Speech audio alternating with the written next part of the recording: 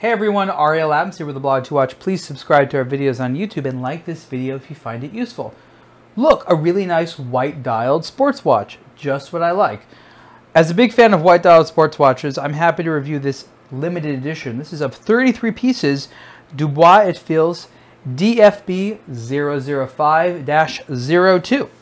Interesting boutique Swiss watch brand. They claim to be the one of the oldest watch manufacturers. I think they claim to be the oldest watch manufacturer in Switzerland, even though they just sort of came back recently. I think it was five years ago, or maybe a little bit longer than that. I always feel the need to start a chronograph when I see it. It just sort of helps get things started. This watch is an interesting type of timepiece because it's difficult for me to identify exactly who the target demographic is. First of all, we know that this is a version, a modern version of sort of a retro design, and it's very Swiss in its approach. Even the brand is super Swiss. The brand is kind of cool because their website allows you to do a lot of things that you don't normally see on a watch brand website. For example, buy shares in the company.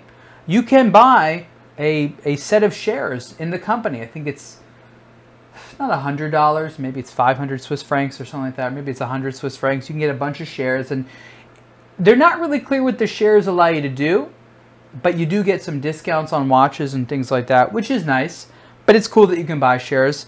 Um, you can rent watches and you can look through their collection, which is actually quite prolific, impressively prolific of slight deviations uh, on, on similar themes, but very classic Swiss watches that I think would have been really sort of in vogue in the 60s, right? Like if you were buying Swiss watches in the 60s, this style and look would have probably be something that you saw an awful lot. So DFB 005 is one of a few sporty chronographs they make. What typifies this one is little things like the style of the hour markers, the big date, the hands, things of that nature. 42 and a half millimeters wide and intelligently wears very comfortably because of the stubby lugs. lugs. The lugs are not particularly long and very sharply curved, which means that you get as much space on your wrist for the dial, which I think is a really nice look, especially with this contrasting dial with the dark gray subdials and the sort of off-white dial with the applied hour markers and the reddish-orange chronograph seconds hand. It's a good look. The movement is a base ETA and on top of it is a module by Dubois Dépraz, which adds the triple register chronograph as well as the big date indicator. I am a big fan of big dates, but a lot of times, especially these types of big dates, don't look very good because the windows that frame them, in my opinion, look a little bit awkward. I happen to think that Dubois Fils did a good job. I'm not really sure how et Fils is, I just know it means and son, so I'm just going to say Dubois and son, if you don't mind. Very Speedmaster-ish in the look. I'll admit it. It's the bezel. It's not just the bezel, it's the way the case is constructed. If you look at the side of an Omega Speedmaster, you'll see the same, I'll call it a lip, that comes out that the bezel sits on. There's not a lot of watches that have that. It's mostly the Speedmaster and something like the DF, DFB 005-002. I would really like it if watch brands stopped giving their watches mere reference numbers or numbers as their names. This watch has a personality. It, it says something to me. It says something to the people that see it on me. It needs to have a name other than a bunch of letters and numbers. I'm not sure why people do that, and I've encouraged people to stop. Don't take a watch that's nice and has a lot of character and strip some of that character with a generic sounding name. That's fine as a reference number, but, but give it a little bit more than that. You want people to spend a fair amount of money on a luxury watch Go the extra step of giving it a personality through a name. Decently decorated movement. Custom rotor with a little tree logo there.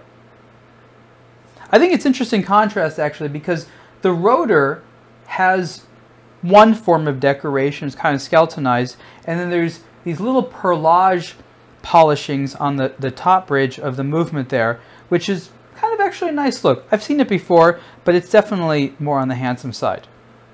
Little detail there on the side of the case, that's cool. I'm not the biggest fan of the strap. It is a high quality strap. It's very thick though, and wearing it in is tough. It also looks like the type of strap that after several months would start to wear. Also for me, because I have small wrists, found that if I, but if it was a supple strap, which it's not, and I wanted to wear it comfortably, there aren't enough holes. So I don't remember there being an option for a strap that's smaller. The brand might offer one, but um, I'm just not clear on that right now. But there is a nice buckle there. Sorry, went out of focus. That is actually a pretty nice buckle. Each of the watches that the brand produces are a limited edition and usually of a very small number. So like I said, this particular model is a limited edition of 33 pieces, which doesn't seem to be at all uncommon for the brand. They really focus a lot on the sense of exclusivity and rarity, which is fine, but frankly, they're not the only brand out there that has very limited productions. So I think that they should sort of focus a little bit more on their history, which I'd actually like to know more about, as well as the design. The quality and the people producing the watch are also very important to me. I talk a lot about this because at 7,850 Swiss francs, this is an expensive timepiece. For this type of money, people are looking at Rolex, Omega, um, these days even higher than Tag Heuer, and a lot of brands that have more of a marketing presence and a well-known history. Unfortunately for brands like Dubois Fils or Anson, people are probably going to buy that Rolex and that Omega and a few other mainstream luxury watches and then come over to a timepiece like this, especially at these prices. If this watch was a few thousand dollars less, and I'm not saying they're able to be, but if they were, they'd be sort of entitled to get in, front of a much larger audience that doesn't necessarily want to spend the money for a Rolex or Omega, but is also graduated above several hundred dollar or one to two thousand dollar watches. I just wanted to comment about that and see what you think. Overall, it's a nice watch, and if you don't like this particular dial, I recommend you go to the website and see all the different versions they have. If you like classic watches, especially classic Swiss design watches, I think that you're going to find a lot to like with this brand. You can see the full review of the Dubois Fils DFB 005-02 on aBlogtoWatch. Thanks.